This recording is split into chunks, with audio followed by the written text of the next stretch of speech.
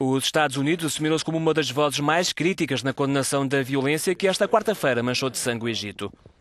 Washington apela ao fim do estado de emergência decretado pelo governo egípcio e o secretário de Estado norte-americano John Kerry pede uma solução diplomática. Os eventos de hoje são deploráveis. Chocam com as aspirações do Egito em ter paz, em promover a inclusão e em promover uma democracia genuína.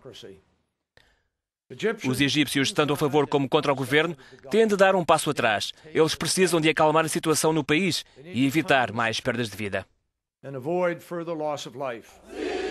A Turquia também condenou a reação violenta das forças militares egípcias. Em Istambul, manifestantes islamitas protestaram junto a uma mesquita. O presidente turco Abdullah Gül receia que suceda no Egito um caso similar à Síria.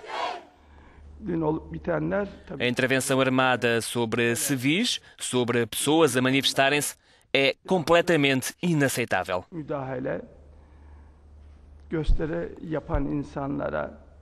Fossem qual fossem as razões que motivaram esta intervenção dos militares, ações deste tipo podem abrir portas a consequências muito perigosas.